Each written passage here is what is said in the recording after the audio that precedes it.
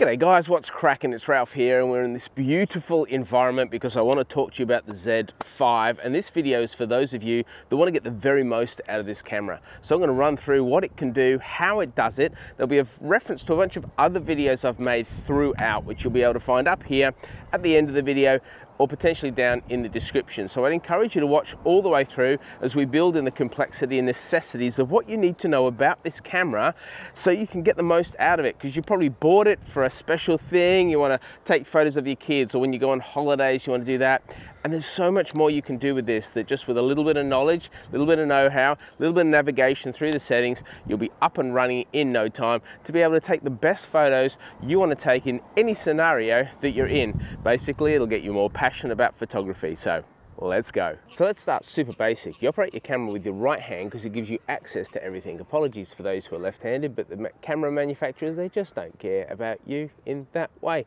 Use your left hand to secure and stabilize your camera. So you don't need to hold it out here, place it underneath, bit of a palm under the hand. Obviously with larger lenses, you hold the lens, you hold right at the end of the lens actually on larger lenses, but you hold underneath the base, keeps it stable. You're not stabilizing with this hand because this hand's moving, right? Don't stabilize with this hand. Don't do all the old click, click, click. Just stabilize like here. I put an L bracket on mine and recommend an L bracket.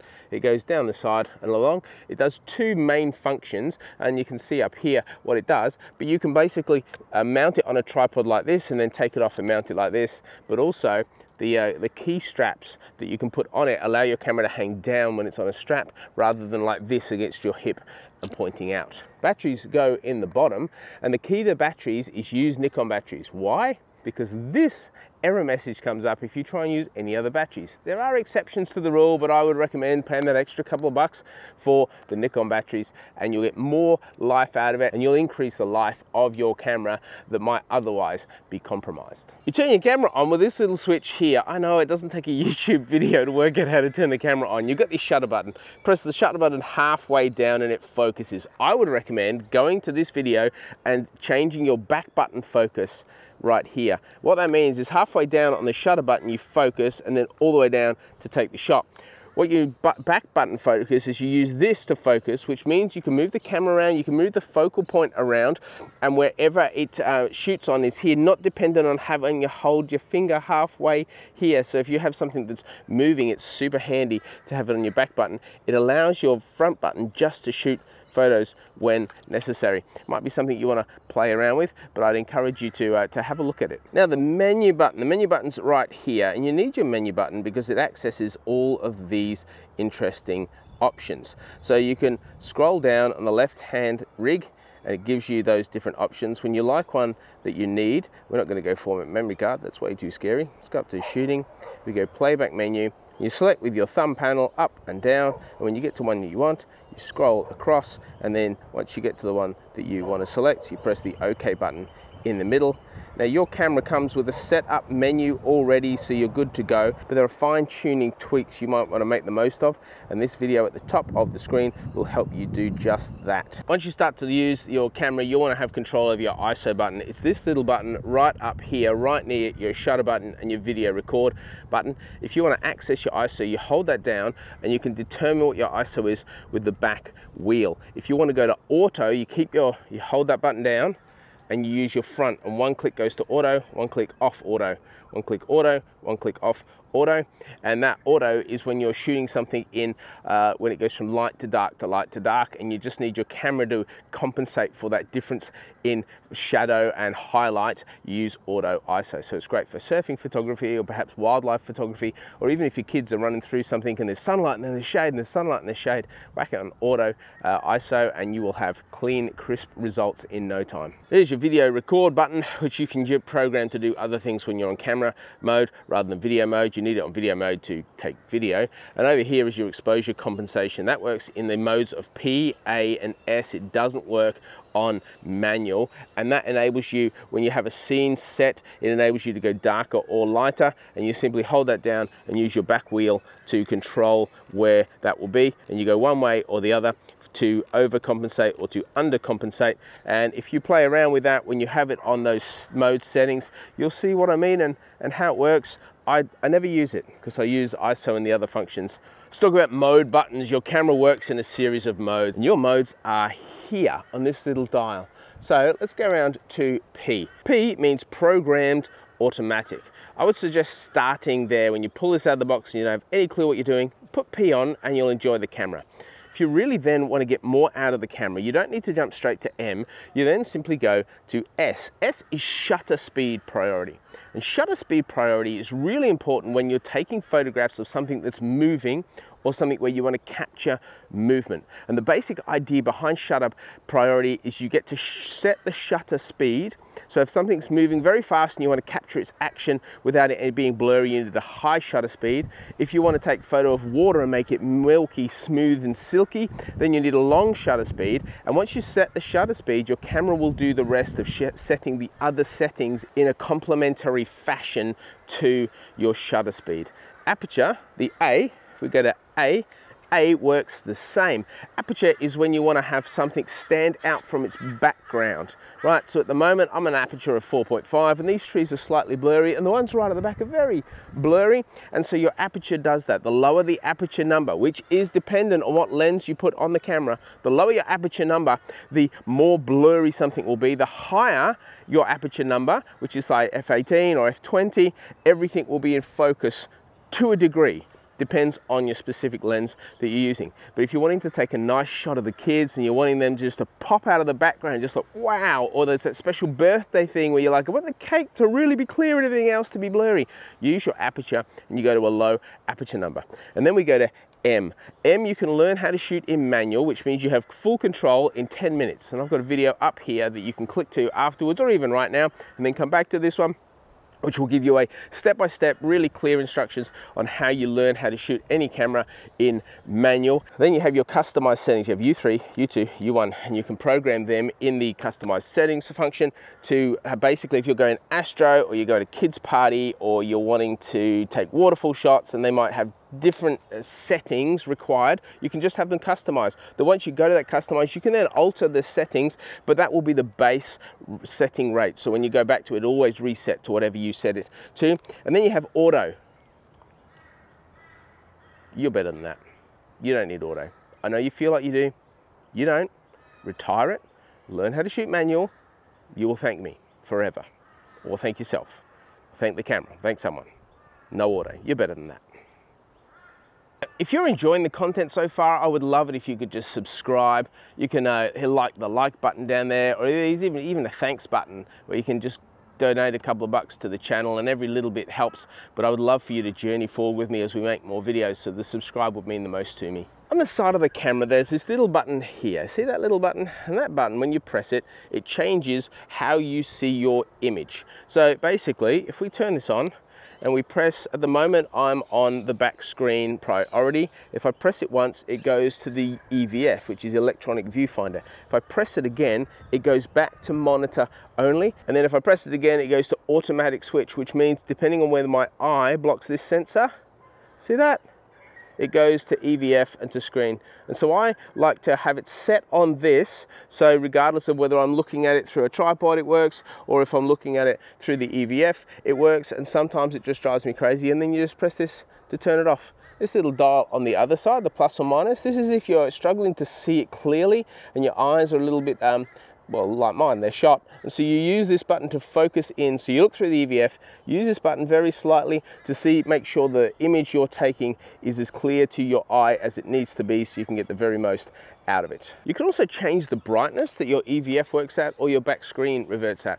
And the temptation is to go, let's go as bright as possible so we can see it as clearly as possible. What you need to know is you'll then have a tendency to think that what you see with your eye is the actual photo being taken, but what you see with your eye is brighter than the photo being taken. So I would just caution against that. On super bright days where the screen is hard to read, bump the brightness up just for those particular moments and you can put it on one of your immediate information um, mode mode options right there. But generally, I'd, um, I'd recommend just sitting at about middle range, unless of course the brightness hurts your eyes when you look through it, and then reduce it to where you need it to be. But just be, uh, be aware of that, that it can be, um, you can get home and go, why are my photos not the same photos that I saw when I looked through it? And that can be the reason because your brightness is incoherent with the actual photograph that you're taking. Your screen is actually a touch screen, but it's not always on. So at the moment it's off and you can't be a touch screen. But this little button here, if you press that, it turns it on and you can position a focus point just by touching and that means it will be focused there. You can actually change it to touch AF, which means autofocus. So if you touch here, the autofocus pinpoints where your shot's gonna be. And then if you press it again, you can actually take the photo by pressing on the screen. And so it will focus in on whatever you want to focus in on. And then if you've had enough of that, you simply turn it off and you're ready to go again. See this display button right here? The display button changes what your display looks like when you're shooting and it gives you different functions. You can use your settings through this video just up here somewhere to change what your display button looks like. But also when you're on playback mode, I go to playback mode, there's the last photo I took, you can change through the display so you can see what settings you used and what other information or metadata is integral to your image. And obviously here you also have the video to photo button I would suggest when you go to video, because you don't use video primarily with this camera, so have your video settings all set up at say 24 frames a second um, at 4K, 2160 is 4K. Make sure your shutter speed number, so 1 over 50 is twice that of what your frames per second is. So if you're shooting on 2160 slash 24, it's 24 frames a second. So you want your shutter speed to be 1 over 50 because 50 is pretty much double 24. Just like if you have a higher range, like you go 60 frames a second, you want your shutter speed to be what? 1 over 120. Well done. If you don't want to take up a lot of space, you'll go down to um, uh, 1080p. So that's another setting here. And your ISO around 400 and your aperture as low as it'll go. And that will just set you up that if you ever want to just flip to the video, you're good to go. You could also put your ISO on automatic. Again, remember, auto, auto, it's the same on film. Uh, and that'll set you up when you're, you're like, oh, the kids are doing something, or I've just seen this cool wildlife thing, or this cool, you can just flick it over and you know you're pretty much ready to go and you'll only have to tweak the settings rather than be like, what's it doing? Or afterwards, because you'll, you'll do it. And then afterwards you'll be like, oh, definitely should have changed the settings on that. Why didn't I not think about that? You didn't think about it because none of us think about it because it's exciting in the moment. and the disc button also has the same amount of effect on your EVF. So you can look through your EVF and use the disc button to change what data you're seeing in the EVF. It's pretty cool like that. And the things you can do with this, you can have a horizon leveling, you can have your histogram, which shows you how much shade and highlights you have. You can have all your settings and don't be intimidated. You go, man, there's a lot of settings. I need it all there to look good and feel good about myself as a photographer me, um, my personal approach is minimalist as possible. Just give me only what I need because otherwise it's a distraction. And there's plenty of options to be distracted by with this function. It has this cool little I button here. The I button is fascinating. When you press the I button, it gives you an instantaneous options on your screen that's touchscreen that you can choose or you can navigate using the joystick here or the thumb print here backwards and forwards. You can navigate what your iMenu see. Use the camera and work out what options you're using most and set your i up to do that rather than going, I'm just going to use what Ralph uses. I'll show you what I use, but I use different functions to others because of way my photography rolls out. You access the info button by simply pressing the info button and surprisingly, and to turn it off, you press it again. So let's go into it and I'll show you what my settings are. So first of all, let's look at the release mode. That's what I have. If we press OK, gives you these options. You have single frame, which is one shot before the camera goes okay. So you can hold your finger down on the shutter release, but it's just one shot. Then you can go um, to long, which is four, three, two, or one shots a second. And we simply go I to get back to where we were and high is 4.5 frames a second. Or we can access our self timer by pressing down and that gives us 2, 5, 10, 20 seconds or the nine shots. So you might want to take a family portrait and you might, you know people are gonna blink and stuff, and so you guys, you might set it up and go, guys, in 20 seconds, I'm gonna take a photo and my camera's gonna take nine photos in a row, so hopefully all of us will be smiling and with our eyes open looking at the camera with at least one of them. So it's kind of a little funky little feature to have um, uh, at your disposal with that, um, and that's what this little button does down here. My second option is silent photography. This is perfect for event photography or wildlife photography where you need to take the click out of the camera. So if you turn that on, every time you press the shutter button, you will have no sound at all. You just need to be careful that you realize you're taking a photo rather than you're not. Then we go to focus mode and there's three options here. There's autofocus stationary, autofocus continuous or manual focus, which if you go manual focus, you also have to put manual focus on on your lens. Continuous is for things that are moving. You want to hold the focus of them wherever they move. A single point autofocus is when you're taking a photo of a flower or a tree or a landscape or something that's not moving and you don't need your focus point to move, even if that is, say, moving around in the breeze. Now we go to the autofocus area mode and you have a variety of options. So if we go right to here, you can choose your single point and you can move it around with your thumb button or with the joystick. If we go back and we can use the um, touchscreen to access the info mode. So we can also go dynamic area autofocus and what that looks like is this. So it focuses on your subject, but also use, uses those dots around as further information points of focus to ensure that that which falls in that space should be in focus. Go back to our area focus mode. We can go wide area, which looks like this. So it's a nice big box. If you have a larger car or something you need to focus in on, it might be a birthday cake. You're like, yep, that suits well. You move it around with the thumb pad or with the joystick. We go back into area focus mode. We have a large one and that looks like this. So it's much bigger. Again, go back in and then we have our auto area focus mode. So when you focus in on the shot, it will pick up what it feels is most in focus. To make your autofocus work, you really need to make sure you're exposed correctly. You can expose correctly by the little plus and minus. So as you can see, that's overexposed and this is underexposed. That is well exposed and when I push the focus button, it will pick up what it thinks are the primary um, subject points. Now this is how you access face and eye detect. So if you go into menu, custom, autofocus, auto area face eye detection, you can turn on face and eye detection there. You can just turn on face detection. If you take a lot of animal shots, you can turn it off there. On, you can turn it on there, or you can just turn the whole lot off. I usually keep mine on face and eye detector. So if someone's face is there, it will automatically focus on the eyes and the face. If they're too far away, it will just focus on the face. So we get out of that by simply pressing the back button and then menu which gets us out. We can press info to go back to where we were. So that's AF area mode and you can choose which one. So if you're taking a lot of people and a lot of things like that, I would suggest the auto area autofocus mode with face and eye detect on. If you're taking a lot of photos of say a landscape or other things in nature, I would go this.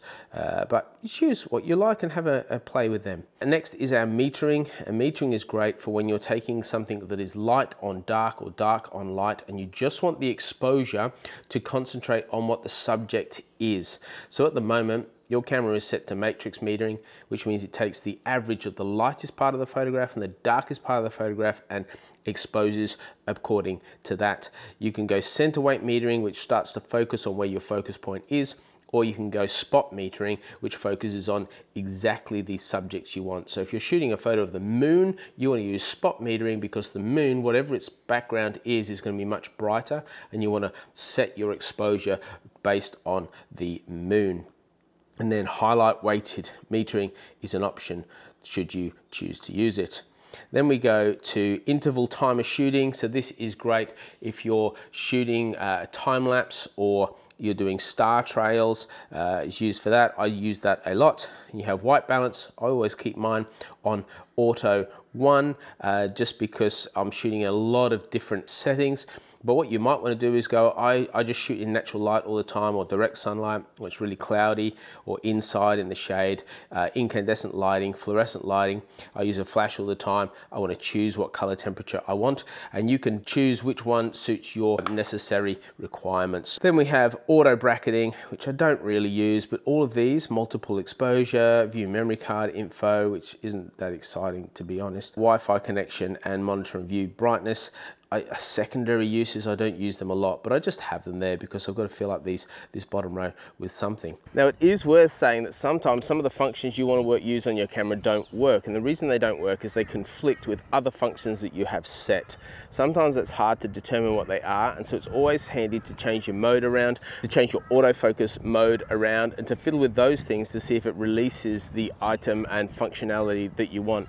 Your camera's not broken. You don't have to send away. You don't have to freak it out you can always jump on Google and just type in, why isn't this working? And someone in the world that's very helpful have already told you the answer that you can then just employ and work out why it doesn't work. Same with menu items grayed out is because that option is not available on the current settings that you have on your camera. No need to freak out, take a breath, hit up Google, you'll be good. Now on the back of your camera, you have a plus and a minus button. That is good when you're on playback and you can zoom out.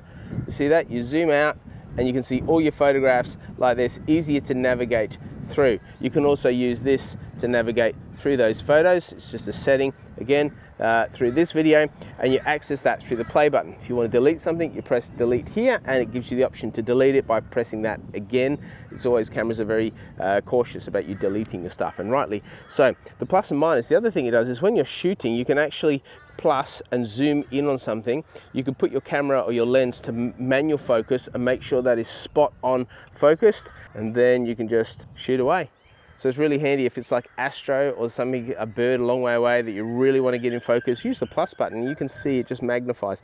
It won't do anything for your images. It's not, it's sort of an, uh, a digital zoom that's built in. It's, you're not actually zooming in, you are just Uh, zooming in on what you can see to take a better image as it reverts back to what it was. So don't be fooled that it's a somehow a digital zoom that works in body to give you closer ups. You'll need to crop your photo afterwards. As you crop your photo, know that the quality decreases every time you crop a photograph. The final two little buttons that I use all the time and I love are these two. They're tucked in here. And you might have seen them already and wondered what they actually are. So right where your fingers are, and my first one I use for playback, I set for playback, and the second I use for continuous or stable focus on the back wheel, and then on the front wheel, I change what my uh, focus matrixing is. And so I find having those two there, I can do all of that with this without taking my eyes away from the screen or looking at something else. So I'd encourage you to investigate what these two buttons can do. They're a custom uh, setting and the video here will just uh, walk you through how you do that. But gosh, you, you speed up your flow of photography and your confidence in photography if you have those two little buttons activated to what you feel is the best for you. Guys, I hope this has been helpful. I've been planning this video for ages because I wanted to help those of you that have bought a Z5 and you're not making the most out of it and you're not sure what to do and how to do it. So if you have any questions, if your camera's driving you bonkers and you like, just need some help with this, you can put them in the comments below. If you love this, I'd really appreciate you subscribing to the channel. There's a little thanks button down there that you can hit up if you so choose. And it's just been a delight to help you in this space. It, the Z5 is I reckon the best entry level full frame camera you can buy. So you've made the right decision in buying it, but there's so much more to learn about it. So uh, stay tuned to the channel. You can flick around, see what other videos I have. I really appreciate you watching and giving me your time and attention today. And I hope I've been able to help you um, reciprocate that. Uh, thanks so much for watching and I'll see you in the next video. Bye. You turn your camera on with this little switch here. I know it doesn't take a YouTube video to work out how to... Uh, YouTube is not the band. It'd be cool if it was, wouldn't it? Turn that on, just uh, I can't think of a YouTube song. Song like, oh man. Let's edit that bit out. The streets have no name. There we go. Got there in the end. Sorry.